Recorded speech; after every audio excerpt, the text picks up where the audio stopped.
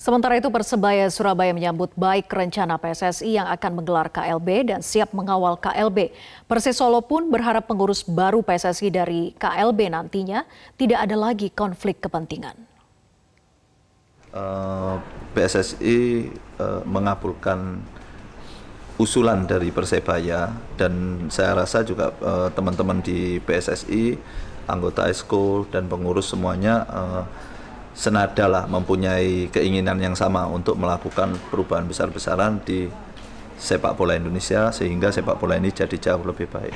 Poin tuntutan kami kan di enam poin tuntutan kemarin kan salah satunya adalah mereformasi sistem pengurusan yang tidak berpihak kepada publik ya. Jadi hmm. salah satu caranya yang mengubah statuta uh, yang mengharuskan tata cara pemilihan SK itu dengan lewat uh, beberapa tahap yang kami rasa sudah tidak relevan lagi. Jadi siapa-siapa yang harus duduk di kursi komite eksekutif ataupun di uh, federasi saya rasa uh, asas pertama itu tetap harus berpihak kepada uh, kepada keberpihakan publik terus sama kemanusiaan dan asas profesionalitas. Jadi saya rasa uh, bukan menyebut nama atau menyebut sosok tapi siapa sosok yang punya integritas untuk bisa dari situ berdasarkan aspek ya tadi kemanusiaan, uh, profesionalitas dan juga knowledge